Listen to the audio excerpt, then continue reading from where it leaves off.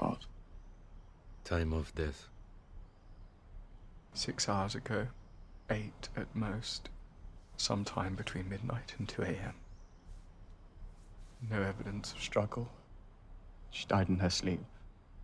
At least that.